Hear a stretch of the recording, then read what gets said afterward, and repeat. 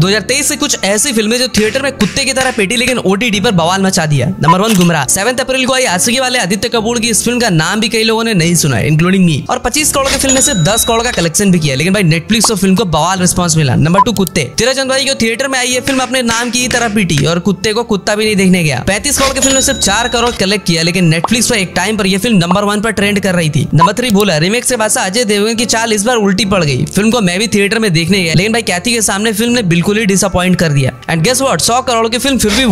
one crore छाप लिया और अमेजन प्राइम पर फिल्म को अच्छा खासा रिस्पॉन्स मिला नंबर फोर किसी का भाई किसी का दुश्मन वैसे एक सौ पच्चीस करोड़ की फिल्म में अस्सी करोड़ का कलेक्शन किया और जी फाइव पर फिल्म को काफी अच्छा रिस्पॉन्स भी मिला नंबर फाइव मिशन रानीगंज दमदार स्टोरी और सिनेमाटोग्राफी के बावजूद फिल्म अपना बजट जितना भी कलेक्ट नहीं कर पाई लेकिन भाई नेटफ्लिक्स और फिल्म को फाइव मिलियन व्यूज आवर्स मिले